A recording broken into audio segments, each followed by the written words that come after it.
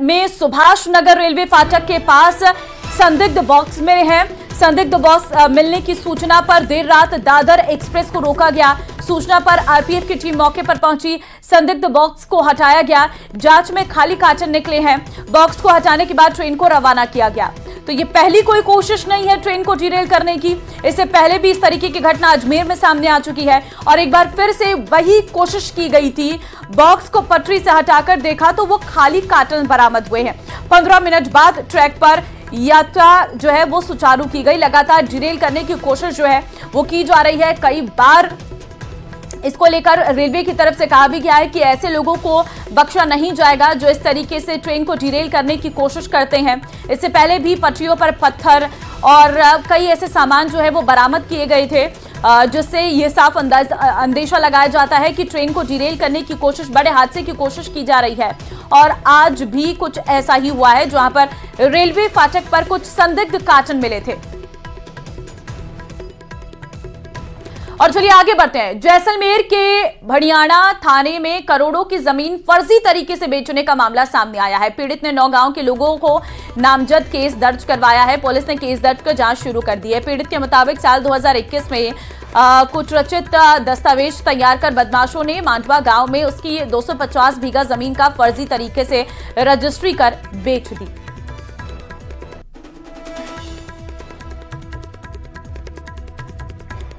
वहीं चित्तौड़गढ़ नार्कोटिक्स विभाग की टीम ने नशे की बड़ी खेप पकड़ी है। मुखबिर की सूचना पर कार्रवाई करते हुए नार्कोटिक्स की टीम ने चित्तौड़गढ़ उदयपुर मार्ग पर कार्यवाही करते हुए एक कंटेनर में तस्करी किया जा रहा। आठ क्विंटल से अधिक अफीम डोडा चूरा जब्त कर चालक को गिरफ़्तार किया। चालक के खिलाफ एनडीपीएस एक्ट के तहत मामला दर्ज कर आगे की कार्रवाई शुरू कर दी गई है।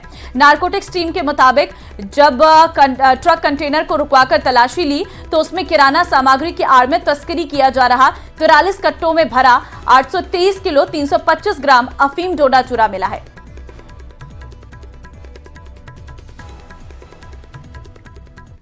बारा ज़िले के शाहबाद में बेटियों ने रूढ़ीवादी परंपरा को तोड़ते हुए माँ की मौत के बाद न सिर्फ़ उनकी अर्थी को कंधा दिया, बल्कि शमशान में धार्मिक रीति रिवाज के साथ पिता को मुखाग्नि भी दी।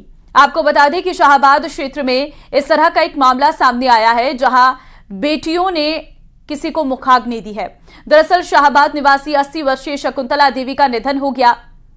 मृतका शकुंतला के पाँच बेटियाँ, ऐसे में उनकी बेटी ने मुक्तिधाम में पहुंचकर अंतिम संस्कार की सारी प्रक्रिया को पूरा किया।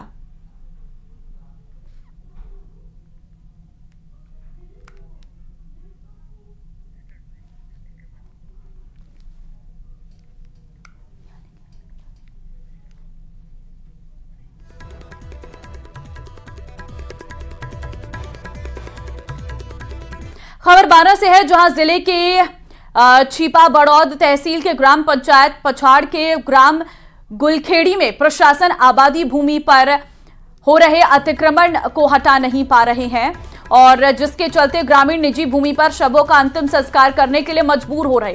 आपको बता दें कि ग्राम सभा में उक्त भूमि पर अतिक्रमण हटा शमशान घाट, कचरा पात्र, यात्री, प्रतीक्षालय, सामुदायिक भवन के निर्माण का प्रस्ताव पास किया गया था। लेकिन प्रशासन से सहयोग न मिल पाने की वजह से ये योजनाएँ परवान नहीं चढ़ पा रही। ग्राम पंचायत सरपंच सरिता शर्मा ने प्रशासन पर लापरवाही का आरोप लगाते हुए कहा कि इस बारे में जिला कलेक्टर और एसपी को कई बार पत्र लिखकर पुलिस जाब्ता मांगा गया है, लेकिन प्रशासन कोई कार्यवाही नहीं कर रहा। ग्राम पंचायत पछाड़ के ग्राम गुलखेड़ी में आबादी भूमि पर आबादी भूमि पर खसरा नंबर सात सौ तिरपन बटा एक सौ पाँच पर शमशान घाट व कचरा पात्र बनाने के लिए ग्राम पंचायत पछाड़ द्वारा प्रस्ताव लिया गया था।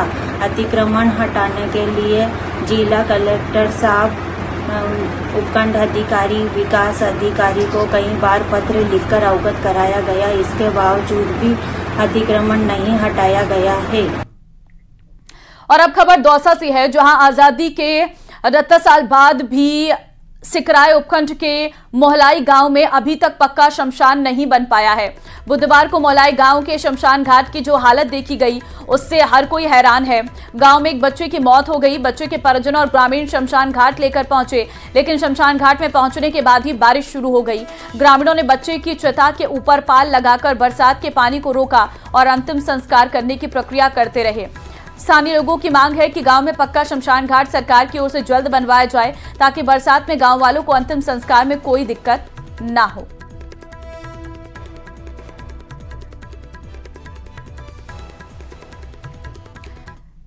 धौलपुर ज़िले की मनिया थाना पुलिस और यूपी के मैनपुरी के एसओजी की टीम ने बड़ी कार्रवाई को अंजाम दिया है। आगरा, मुंबई राष्ट्रीय राजमार्ग स्थित सुआ का बाग के नज़दीक मुखबिर की सूचना पर छेमार गैंग के आठ बदमाशों को पकड़ा है। बदमाशों के कब्जे से दो अवैध हथियार, ज़िंदा कारतूस, डंडे और अन्य उपकरण भी बरामद किए गए हैं। लंबे समय से ज़िले में चोरी और नकबजनी की घटनाओं में इजाफा देखने को मिल रहा। पुलिस ने मुखबिर, तंत्र, साइबर सेल और अन्य तकनीकी यंत्रों के माध्यम से बदमाशों को अरेस्ट किया है।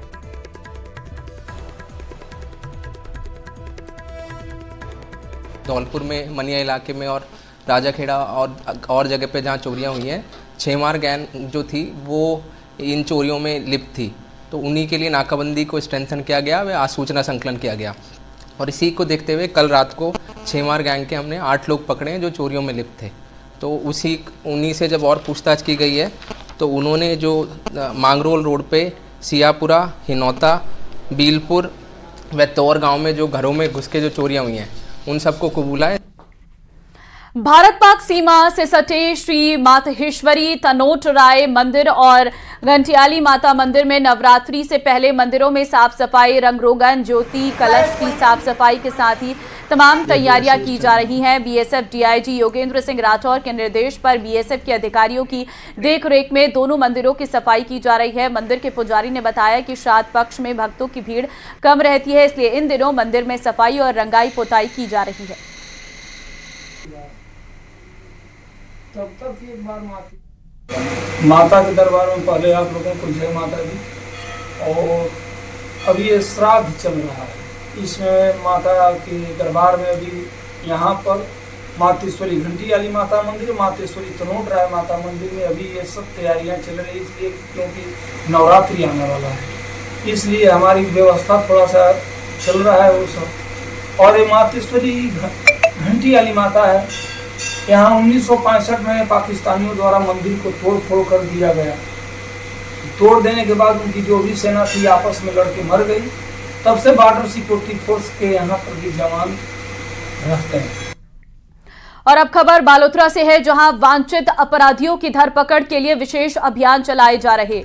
और विशेष अभियान के तहत सिरधरी थाना पुलिस ने सरनू टोल प्लाजा पर तोड़फोड़ कर दहशत फैलाने के मामले में 2000 का इनामी अरेस्ट किया गया है। तो वहीं बालोतरा ज़िले का टॉप टेन अपराधी हरखाराम को गिरफ़्तार करने में सफलता हासिल की है। इन अपराधियों को लेकर पुलिस पूरे मामले की जाँच पड़ताल कर रही है। तेईस में पुलिस थाना सिंदरी के सरनो टोल पर रात्रि में टोल पर तोड़फोड़ कर लूट की घटना की थी, जिसमें पिछले एक साल से फरार मुलजिम हरखा राम पुत्र मूलाराम जाट, निवासी समदड़ों का तालाब पुलिस थाना सिंदरी, जो ज़िले का टॉप टेन में भी शामिल है, जिस पर श्रीमान पुलिस अधीक्षक महोदय बालोत्रा के दिशा निर्देशन में आज सूचना संकलन कर इसको दस्तियाब कर बाद पूछताछ गिरफ़्तार किया गया है। शाही ट्रेन पैलेस ऑन व्हील्स गुरुवार को जयपुर पहुँची। सीज़न के पहले सफ़र को तय कर रही इस ट्रेन में देश विदेश के 35 टूरिस्ट गांधीनगर रेलवे स्टेशन पहुँचे। यहाँ पारंपरिक अंदाज में टूरिस्ट का स्वागत किया गया। ट्रेन में सवार सैलानी जब स्टेशन के प्लेटफॉर्म पर पहुँचे तो लोक कलाकारों ने उनकी अगवानी की। इसके बाद लोक कलाकारों ने माथे पर तिलक और माला पहनाकर अतिथियों का स्वागत किया। सभी सैलानी आज गुलाबी नगरी का दीदार करेंगे। जयपुर पहुँचे सैलानियों से बात की हमारी संवाददाता महिमा जैन ने।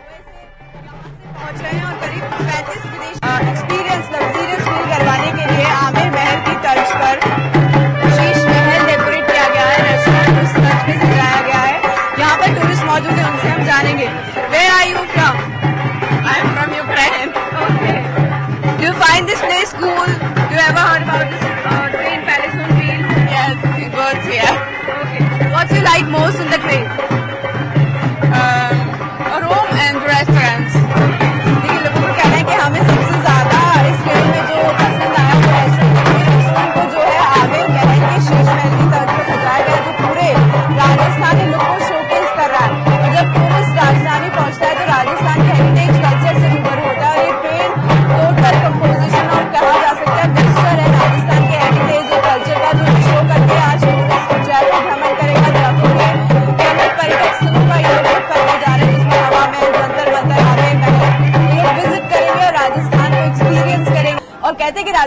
मेहमान नवाजी नंबर वन होती है तो जब यहाँ पर जब विदेशी सैलानी पहुँचा तो ज़िम्मेदारी और बढ़ जाती है और ऐसे में आरटीडीसी की ओर से ये ट्रेन चलाई जा रही है। कोविड के बाद से ये ट्रेन फिर से शुरू हुई है और अब ये इस सीज़न का पहला दौरा इस ट्रेन का है। कैमरामैन शेर सिंह के साथ महिमा जैन, न्यूज़ एटीन। चित्तौड़गढ़ ज़िले के रावत भाटा में लव जिहाद का मामला आया सामने। हालाँकि पुलिस ने युवती को दस्तयाब कर लिया, लेकिन हिंदू संगठन से जुड़े कार्यकर्ता युवक की गिरफ्तारी की मांग पर अड़े हैं। ये रिपोर्ट देखिए।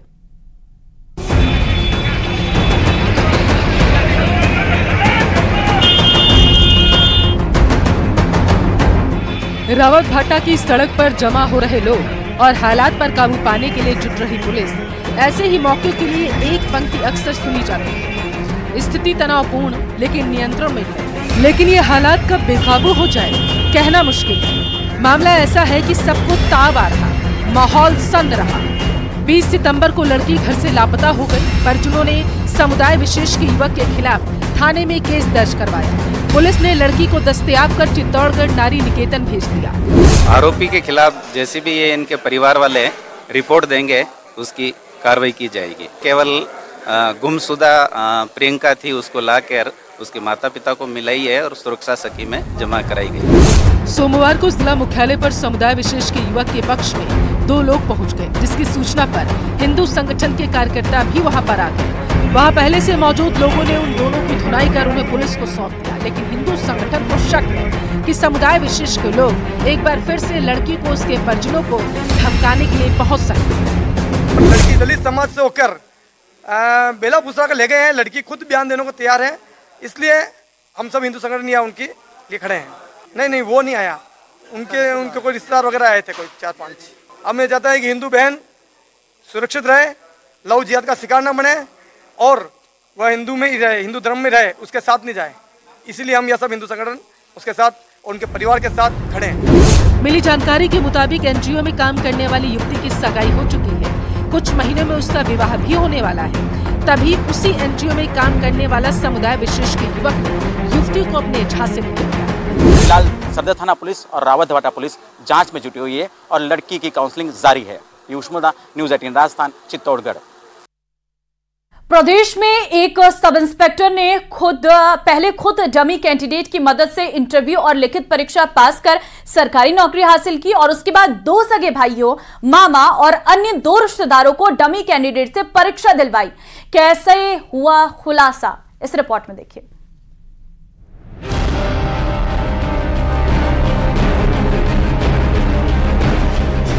डमी कैंडिडेट गैंग का पर्दाफाश।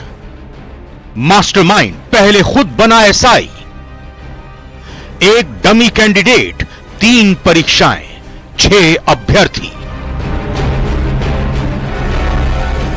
ये डमी कैंडिडेट है रोशनलाल मीणा, जिसने शिक्षा के हथियार का गलत इस्तेमाल कर एक एक करके छह लोगों को सरकारी ओहदे दिला दिए और चंद पैसों के लिए डमी कैंडिडेट बनकर सरकारी विभागों में सेंध लगाता चला गया। यह कहानी तब शुरू होती है जब एक सब इंस्पेक्टर ने पहले खुद डमी कैंडिडेट की मदद से इंटरव्यू और लिखित परीक्षा पास की और फिर दो सगे भाइयों मामा और अन्य दो रिश्तेदारों के लिए भी अलग अलग तीन प्रतियोगी भर्ती परीक्षाओं में डमी कैंडिडेट से परीक्षा दिलवाई। अभी रोशन मीना ही अरेस्टेड है मनीष मीना ये सब इंस्पेक्टर हैं जो 2016 की परीक्षा की रिव्यू जो परीक्षा हुई थी आ, 2018 में उसके बाद 2021 में ये सेवा में आए थे और अभी कंफर्मेशन होके नाचना बीआई में जो बॉर्डर इंटेलिजेंस की चौकी है, उसमें ये पदस्थापित थे जो कल से फरार है। खास बात है कि इन सभी छह कैंडिडेट्स के लिए परीक्षा देने वाला डमी कैंडिडेट एक ही निकला। हाल ही में एसओजी की स्पेशल टीम ने इस गैंग के सरगना सब इंस्पेक्टर मनीष मीणा के सगे भाई दीपक कुमार मीणा और मामा महेश कुमार मीणा को पकड़ा। जिन पर एसओजी ने दस दस हज़ार रुपए का इनाम घोषित किया था। इस रैकेट को चलाने वाला mastermind sub inspector Manish Meena अभी फरार है।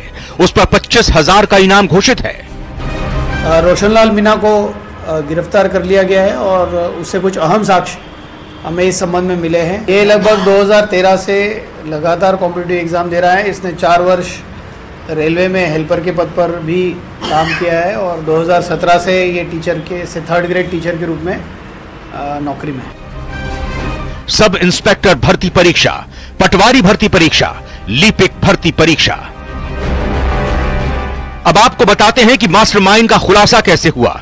दरअसल इसी साल अप्रैल महीने में एसओजी के हत्थे चढ़े डमी कैंडिडेट रोशन लाल मीणा से पूछताछ हुई। जिसमें मास्टरमाइंड के तौर पर इंटेलिजेंस विंग में तैनात सब इंस्पेक्टर मनीष मीणा का नाम सामने आया। यह भी पता चला कि रोशन ने सबसे पहले मनीष के लिए ही परीक्षा दी थी। आ, फ़ोटो इन्होंने इस प्रकार से मॉर्फ किया है कि ये फ़ोटो आधा इसका है और आधा उसका है। The photo is not completely his. तो एक बेनिफिट ऑफ़ डाउट हो जाता है कि साहब कोई कहता है पुराना फ़ोटो है या ये फ़ोटो है। तो द फ़ोटो इज़ मॉर्फ्ड। उस फ़ोटो को सुपर इम्पोज किया गया है। रोशन और मनीष की फ़ोटो का मर्जिंग किया गया है। अब आपको ग्राफिक्स के ज़रिए समझाते हैं, इन छह कैंडिडेट्स को कौन कौन से पद मिले हैं। मनीष कुमार मीणा सब इंस्पेक्टर दीपक कुमार, कनिष्ठ लिपिक, दिनेश कुमार मीणा, पटवारी भर्ती परीक्षा, महेश कुमार मीणा, कनिष्ठ सहायक, कंचनलाल मीणा, पटवारी भर्ती परीक्षा, सागर मीणा, पटवारी भर्ती परीक्षा। एसओजी की पड़ताल में सामने आया कि रोशनलाल मीणा ने गैंग के मास्टरमाइंड सब इंस्पेक्टर मनीष के कहने पर कंचनलाल मीणा और सागर मीणा की जगह भी डमी कैंडिडेट बनकर परीक्षा दी। पूछताछ में सामने आया कि रोशन मीणा खुद स्टेट लेवल की चौदह परीक्षाएँ और सेंट्रल लेवल की छह परीक्षाओं में बैठ चुका है। दिनेश मीना ये टोंक में लैंड सेटलमेंट कार्यालय में पदस्थापित है। आ, दीपक का फ़िज़िकल नहीं हो पाया है आ, इसलिए वो भी नहीं है पदस्थापित। महेश मीना ये सेल्स टैक्स में दौसा में पदस्थापित है। आ, सागर मीना पटवारी के रूप में पदस्थापित है उसका पदस्थापन स्थान हम अभी बता कर हैं। भले ही फरार चल रहे सब इंस्पेक्टर मनीष ने डमी कैंडिडेट से परीक्षा दिलवाने वाला नेटवर्क खड़ा कर लिया हो लेकिन एसओजी ने इस गैंग को ऐसे भेजा कि शातिर डमी कैंडिडेट और सरगना का भाई और मामा एसओजी के हत्थे चढ़ गए हैं जबकि तीन अन्य आरोपी फरार चल रहे हैं। जिनकी तलाश में एसओजी लगी हुई है।